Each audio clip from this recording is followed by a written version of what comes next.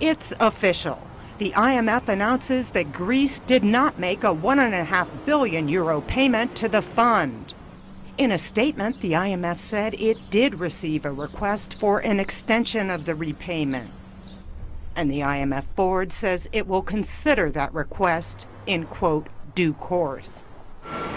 It's the first time in the history of the IMF that an advanced economy has defaulted on a loan from the world's financial backstop, putting Athens in the same bracket as Zimbabwe, Sudan, and Cuba. Already, the imposition of capital controls to prevent a banking system collapse has given Greeks a bitter foretaste of the economic plunge that could follow if it exits from the euro.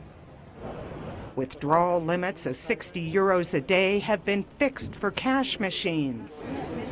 So far, there are no immediate signs of serious shortages. But if the banks remain closed, cash flow problems could worsen as Greece moves into uncharted territory.